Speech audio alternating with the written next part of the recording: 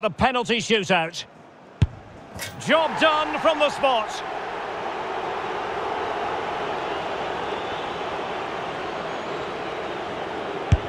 Clinical as always, in front of goal. And he steps up to take his penalty. And he's denied them from the spot.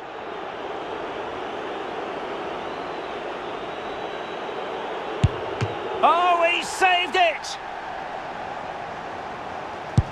And he finds the net. He could hardly miss. His turn to try to convert from the spot.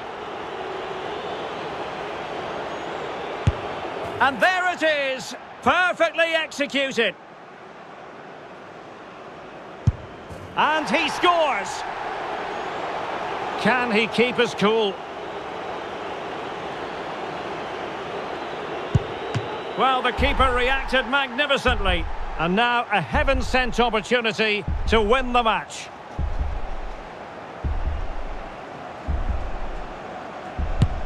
And that is when you need your goalkeeper.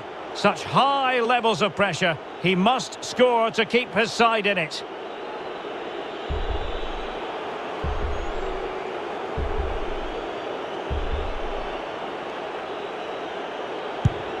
Penalty save! And that's the end of the story. Well, that's a good save, isn't it? He's just won the game for his team here. Brilliant stuff from the keeper.